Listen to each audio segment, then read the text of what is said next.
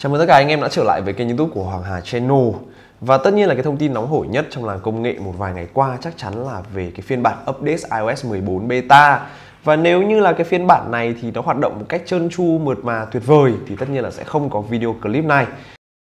mình thì đã lên cái phiên bản iOS 14 beta trên chiếc điện thoại iPhone 7 Plus của mình và trải nghiệm được khoảng 1 đến 2 ngày thì tất nhiên là mình đã tổng hợp được rất là nhiều những cái lag này, lỗi này, những cái khó chịu trên bản iOS 14 beta này. Vì vậy mà hôm nay thì mình sẽ tổng hợp lại tất cả những cái lỗi này, những cái lag giật khó chịu trên phiên bản iOS 14 beta và cách để khắc phục nó. Hãy xem hết video nhé.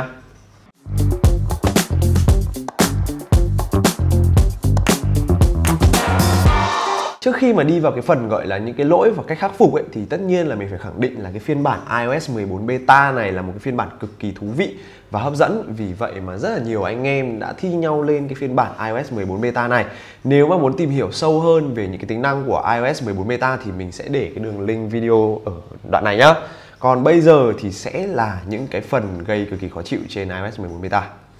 Đầu tiên thì mình sẽ nhắc đến đó chính là những cái phiên bản máy iPhone nào được hỗ trợ nâng cấp lên iOS 14 beta thì tất nhiên là nó sẽ bắt đầu từ phiên bản là iPhone 6s và 6s Plus. Vì vậy đối với những các bạn nào mà hỏi là iPhone 6s hay là iPhone 7 có lên được hay không ấy thì mình khẳng định luôn là các bạn hoàn toàn có thể trải nghiệm cái phiên bản iOS 14 beta. Thì cái đường link và cách update thì mình cũng sẽ để ở phía dưới phần miêu tả để các bạn có thể thử nhá. Còn khi mà mình đã trải nghiệm cái phiên bản iOS 14 beta thì mình thấy một cái vấn đề đó chính là những cái phiên bản đối với iPhone 7, iPhone 7 Plus trở xuống có nghĩa là iPhone 6 và iPhone 6s thì chưa nên thử lên phiên bản iOS 14 beta nếu như mà các bạn đang sử dụng chiếc máy điện thoại đó làm chiếc điện thoại chính của các bạn. Cái lý do tại sao những phiên bản thấp chưa nên lên cái phiên bản beta là bởi vì là những cái phiên bản beta thì nó có rất là nhiều lỗi và rất là nặng vì vậy mà nó sẽ mang lại cho những chiếc iPhone, gọi là cũ của chúng ta ấy, rất là nhiều những cái khó chịu. Ví dụ như kiểu là khi mà mình trải nghiệm chiếc iPhone 7 Plus và iPhone XR cả hai cùng lên iOS 14 thì có thể thấy là những cái di chuyển này những cái movement những cái chuyển động của iPhone 7 Plus tạo ra những cái gọi là khựng này những cái giật lag khá khá so với những cái đời iPhone X trở lên. Vì vậy mà có thể nói được rằng là những cái đời iPhone sâu ví dụ như kiểu iPhone 7 hay là iPhone 6 Plus thì các bạn nên đợi những cái phiên bản update sau này và cái lưu ý thứ hai đó chính là uh, những cái bạn nào mà sử dụng à, iPhone mà với cái dung lượng thấp hoặc là đã chuẩn bị hết bộ nhớ rồi ấy thì cũng đừng đánh liều lên phiên bản iOS 14 beta. Vì là cái phiên bản iOS 14 beta này có thể thấy được rằng là nó tốn rất là nhiều dung lượng đối với những chiếc iPhone đời cũ hơn ví dụ như iPhone 7 hoặc iPhone 6 Plus, 6s Plus thì cái dung lượng update lên tới là khoảng 6 GB thì à, chúng ta cũng sẽ mất một cái khoảng thời gian kha khá để update. Và với một cái phiên bản update nó chiếm tới khoảng 6 GB bộ nhớ thì mình thấy là rất là cao. Đối với những chiếc iPhone đời cao hơn ví dụ như kiểu là iPhone X này, iPhone XR cho đến là iPhone 11, 11 Pro Max thì cái bản nâng cấp này có cái dung lượng lên tới là 12 GB Wow, cực kỳ lớn cho một cái phiên bản update. Thì anh em hoàn toàn có thể cân nhắc xem là liệu chúng ta có nên lên cái phiên bản iOS 14 beta hay không nhá. Còn nếu mà anh em nào mà máy chả có gì, chẳng có ảnh, chẳng có nhạc, chẳng có game ấy Thì ok, update đây để có thể thử trải nghiệm cũng là một phần cực kỳ tuyệt vời.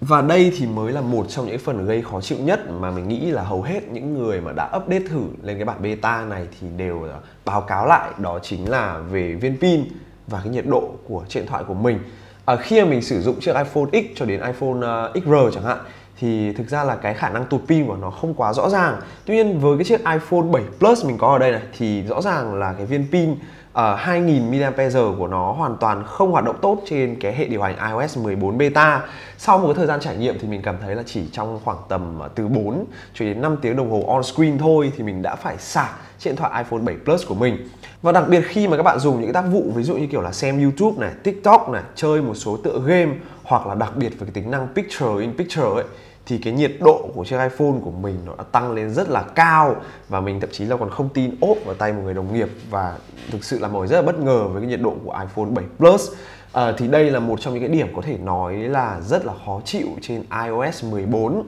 khi mà nhiệt độ tăng này viên pin giảm ấy, thì tất nhiên là hiệu năng của chiếc điện thoại chúng ta sẽ bị giảm rất là nhiều với một chiếc điện thoại đã gọi là có tuổi thọ như kiểu iPhone 7 Plus hoặc là iPhone 6s, 6s Plus ấy thì rõ ràng đây không phải là một cái thời điểm thích hợp để các bạn có thể trải nghiệm cái phiên bản iOS 14 beta. và để tổng hợp một số những cái lỗi một số những cái bug khác mà do anh em ở trên diễn đàn công nghệ chia sẻ thì mình có thể đọc được ví dụ như kiểu là chúng ta sẽ mất đi một vài những cái chuyển cảnh khi mà update lên iOS 14 hay là với một vài máy thì nó còn bị lag chế độ wifi, không thể tắt, không thể bật, không thể tự kết nối được wifi, gây ờ, khá là nhiều khó chịu. Thì đây là một số những cái lỗi mà mình chưa gặp phải, tuy nhiên thì có thể do những anh em mà update một số những cái phiên bản, download từ những cái nguồn khác nhau. Vì vậy mà nó sẽ mang lại những cái lỗi gây khó chịu thì đây có thể gọi là một trong những cái lỗi mà phiên bản beta nào cũng sẽ có. Tuy nhiên với cái phiên bản iOS 14 beta thì chúng ta có một cái mục gọi là mục feedback. Các bạn hoàn toàn có thể vào đây này. Sau đó thì feedback cho Apple. Đó tôi gặp những cái lỗi như thế này như thế kia. Và sau đó thì họ sẽ thay đổi và sẽ cho ra những phiên bản beta tốt hơn. Còn bây giờ ấy, thì với những anh em nào mà đã gọi là liều ăn nhiều như mình đã trải nghiệm và update lên phiên bản iOS 14 beta mà chẳng may có cảm thấy hối hận chẳng hạn, hay là muốn trở về một chiếc điện thoại gọi là chạy iOS 13 thôi, an toàn thôi, thì bây giờ mình sẽ hướng dẫn cho các bạn cách để gỡ phiên bản beta ra khỏi chiếc máy của mình nhá. Với những anh em nào mà đã chẳng may update lên cái phiên bản iOS 14 beta, thì bây giờ chúng ta chỉ cần vào phần cài đặt này, sau đó thì tìm xuống cái phần gọi là cấu hình với những cái bạn nào mà ấn nút đặt lại thì cũng có thể gọi là một cái cách. Chúng ta sẽ chọn cái phần gọi là xóa tất cả nội dung và cài đặt. Thì sau đó thì nó sẽ đều trở lại cái phiên bản iOS 13 tuy nhiên thì một cách đơn giản hơn đó chính là chúng ta vào phần cấu hình này.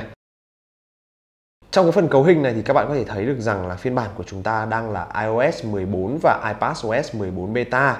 thì cái phiên bản này đã được xác minh bởi nhà Apple, không phải là một cái phiên bản linh tinh nào khác. Với những anh em nào mà muốn xuống cái phiên bản iOS 13 thì chúng ta chỉ cần ấn vào nút xóa cấu hình ở đây thôi. Với mình thì mình vẫn muốn trải nghiệm thêm phiên bản iOS 14 cho nên là mình xin phép anh em là chưa xuống cấu hình nhá. Còn với anh em nào muốn, ấn vào nút đỏ này là sao?